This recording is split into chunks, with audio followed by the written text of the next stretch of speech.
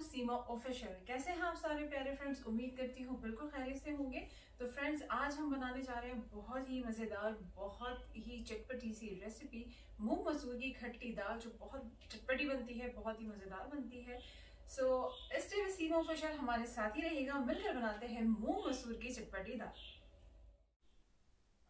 तो फ्रेंड्स, एक पतीली या कढ़ाई में हमने लेना है हाफ़ कप ऑयल और उसको थोड़ा सा गर्म कर लेंगे। ऑयल के गर्म होते ही हमने यहाँ पे शामिल करना है एक लार्ज अनियन प्याज और उसको चॉप करके हमने शामिल कर देना है गरम गरम तेल में और उस तेल में हमने उस प्याज को इतना फ्राई करना है कि प्याज ट्रांसपेरेंट हो जाए या फिर थोड़ा सा सॉफ्ट हो जाए और थोड़ा सा इसका कलर चेंज हो जाए।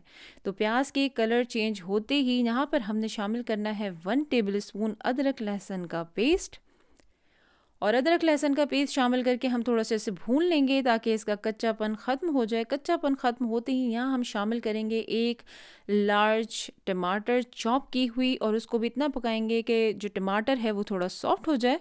टमाटर के सॉफ्ट होते ही हमने यहाँ पर शामिल करना है तकरीबन दो से तीन हरी मिर्चें, उसकी को चॉप की हुई और उसे भी हमने थोड़ा सा भून लेना है। हरी मिर्चों के भुनते ही यहाँ पर हमने सारे मसाला जात शामिल करना है। One and half teaspoon लाल मिर्च पाउडर, वन टीस्पून हल्दी powder, garam masala powder half teaspoon ज़ीरा पाउडर हाफ़ टी स्पून धनिया पाउडर वन टीस्पून और इसको अच्छी तरह से सारे मसाला जात को मिला के और उसको भून लेना है बहुत अच्छी तरीके से। इतना भूनेंगे इतना भूनेंगे कि जो तेल है वो थोड़ा ऊपर को आ जाए। साथ ही शामिल करेंगे हाफ़ कप पानी और फिर थोड़ा सा इसको भून लेंगे मसाले को ताकि मसाले का कच्चापन ख़त्म हो जाए। साथ ही शामिल करेंगे टू टेबल स्पून भर के इमली का पल्प, इमली का पेस्ट।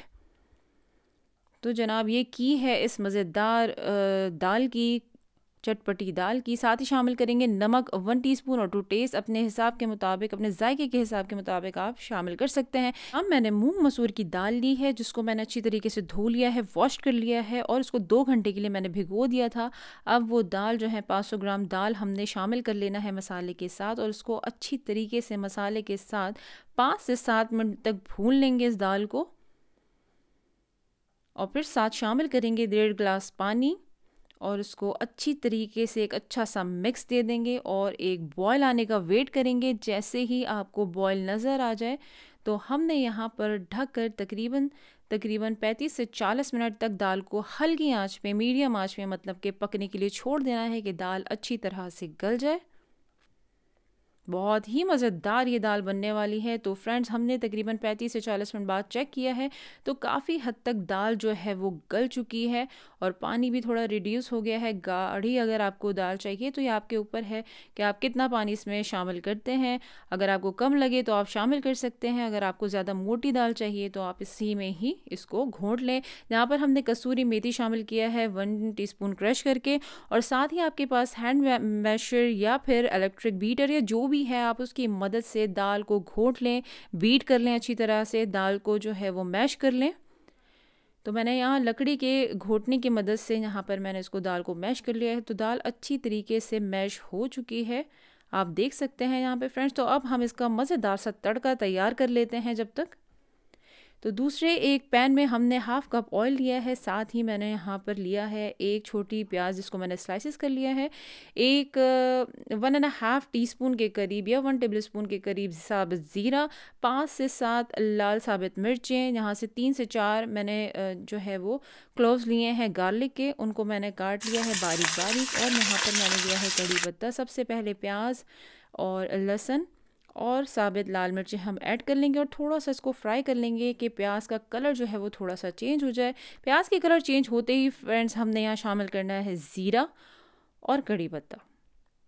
तो मज़ेदार, बहुत ही माउथ वाटरिंग दाल के लिए तड़का जो है वो मज़ेदार तड़का बिल्कुल तैयार है। इसे हम शामिल कर लेते हैं दाल के अंदर।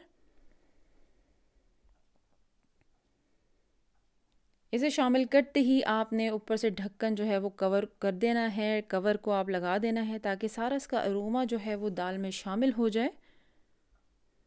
तो ये हम हटा लेते हैं। माशाल्लाह बहुत ही मज़ेदार फ्रेंड्स खुशबू आ रही है। इस वक्त मैं फील कर सकती हूँ यकीन आपके मुँह में भी, पानी आ रहा होगा। लेकिन अब फ्रेंड्स हमने यहाँ पर शामिल करना है तकरीबन वन हैंडफुल फ्रेश हरा धनिया। और थोड़ा सा और इसको चटखारा देने के लिए और थोड़ा सा मज़ेदार बनाने के लिए हमने वन टेबल स्पून के करीब यहाँ पर लेमन, फ्रेश लेमन जो है वो जूस यहाँ पर शामिल कर लेना है। और इसको थोड़ा ढक देंगे और पाँच से सात मिनट इसको दम पर रहने देंगे ताकि सब चीज़ों का फ्लेवर जो है वो फ्रेश धनिया और सारी चीज़ों का फ्लेवर दाल में आ जाए और हम हम इसे डिश आउट करते हैं।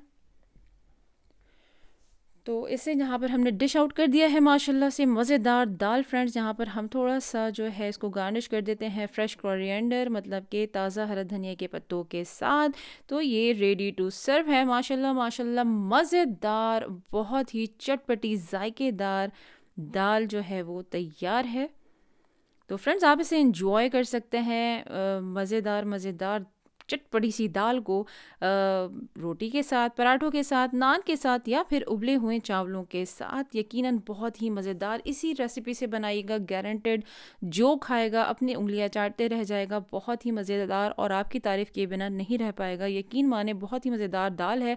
ज़रूर ट्राई कीजिएगा, अपना बहुत सारा ख्याल रखिएगा इन फिर मिलूँगी एक नई और मज़ेदार सी रेसिपी के साथ या ब्लॉग के साथ। अपना बहुत सारा ख्याल रखें, खुश रहें। अल्लाह हाफ़